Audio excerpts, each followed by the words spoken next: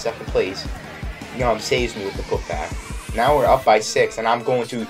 Oh my goodness, Jimmy! Was that Jimmy? Yeah, that was Jimmy. What are you doing trying to draw the charge? You just got put on the poster, basically. You got put on a poster. It's NBA action on EA Sports. I'm Ed Cohen. Great to be joined by Jay Williams for what should be a terrific matchup here tonight. From Quicken Loans Arena, tonight the Cleveland Cavaliers taking on the Philadelphia 76ers.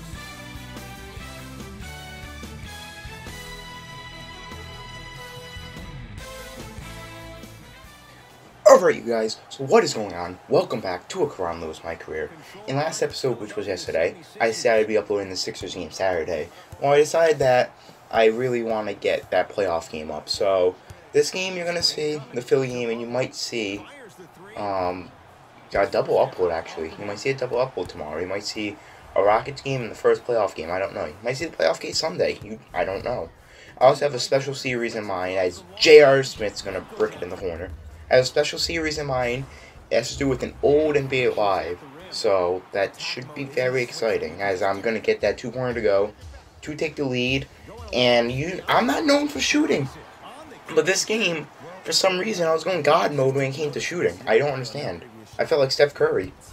So, by the way, this Sixers team, this game is for the first seed in the East as I'm throwing it down over Jimmy Butler. He didn't even dare to jump. This, the Sixers are the first seed. We are a half game behind them. We are the second seed, so this is a very important game. With only five games left in the season, we are facing this team as I'm throwing over Tobias Harris this time. We are facing this team and fighting for the first seed in the Eastern Conference. Because, you know, we want that home court advantage. Collin Sexton joining the dunk party. We want that home court advantage in the playoffs. And if we make it to the conference finals, if we face this team. As I'm going to bad release, still knocks down the three. Still knocking it down. I don't know what happened. I honestly don't know. Collin Sexton's going to pass it to me. I'm dunking it over Joel Embiid, the cover athlete. Dude, Joel is a god in this game, but the fact that I got that dunk over him is straight up insane, dude. It's insane. And this Sixers team has JJ Redick's gonna bring up back in the game. JJ Redick leads the 8-0 run, and the Sixers are down by two. But this Sixers team is so good. They're so good. They're probably worse to play than the Warriors, to be honest. As I'm getting a turnover, Ben Simmons is gonna run the court, and he is going to lay. Nope, get the and one actually. Yep, yep, and one. But this team is actually probably the hardest team to play against with with this lineup because they got nothing but shooters. They got all shooters on that team. But apparently, this game I'm a shooter too. I have an 85-3. See, I, am having the best first quarter of my life. 21 points, 3 for 4 from 3.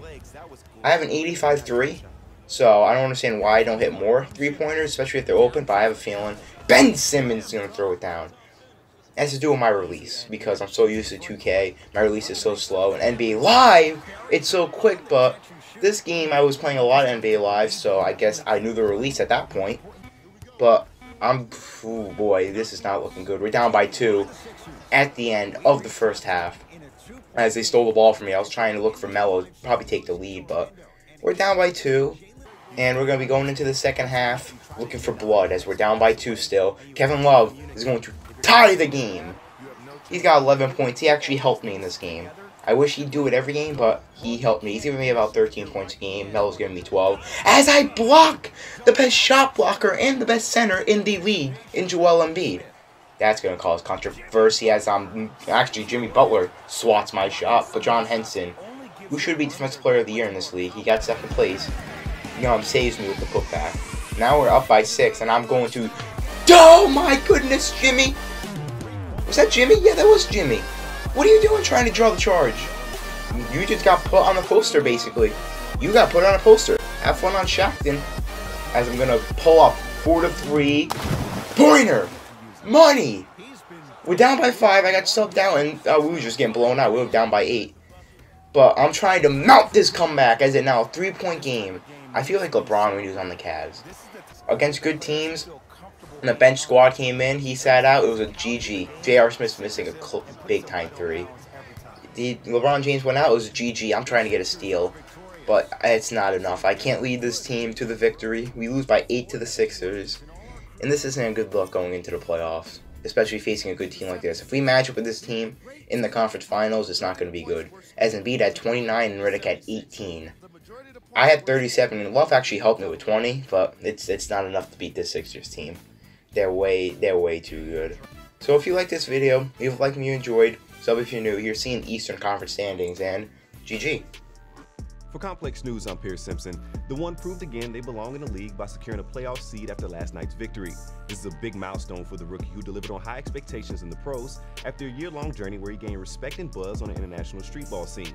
We'll see whether or not this player can deliver on the NBA playoff stage. How far can the one go? Who knows? But we'll be watching. This is Pierce Simpson.